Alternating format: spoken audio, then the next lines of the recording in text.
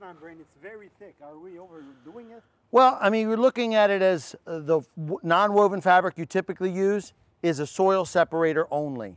This fabric has bilateral tensionability, so it can bridge minor differential settlement of the subgrade. It has biaxial geogrid strength, so because in this application, the engineer is specing only a one foot base versus the typical two foot we use in this environment, right? This fabric's gonna give us additional integrity for that base material. So it's costing us about two thirds as much. I mean, an extra 20, 25 cents a square foot, but there's no additional labor and we're not gonna have callbacks.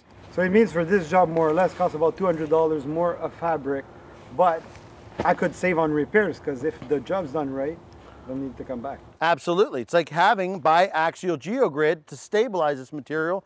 And what's $200 in the scope of a, you know, 1,200 square foot driveway plus, you know, a little parking pad and, you know, a little walkway? I mean, it's a lot of savings there. You're right. Good job. Good. Thank you.